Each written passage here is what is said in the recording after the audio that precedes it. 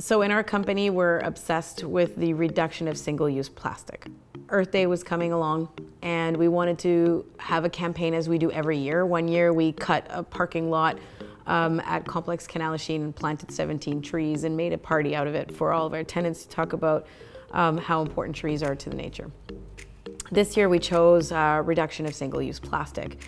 And uh, Vanessa, one of our staff, she found the most amazing visual representation on how plastic affects our world by an artist um, from Montreal uh, whose name is Benjamin Wong. What's really cool is he did a whole series, which is actually a photography montage uh, called Mermaids Hate Plastic. What we got really excited about is not only did the art inspire, but the process on how he made the art inspired. So it inspired us to actually contact him, uh, make a deal with him that we bought three pieces of his art in all of our buildings. We put them in and we attach them to uh, water filtration fountains so that we had counters on them as well, where you would be able to figure out how many bottles of plastic that we were able to save.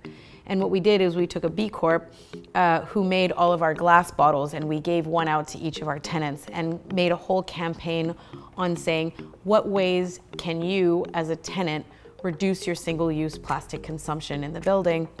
What turned out to be really beautiful was that we created these art pieces to inspire the conversation on the environmental movement, which is something that speaks a lot to us. So art is something that can be influenced on every spectrum, and we use art to tell the story.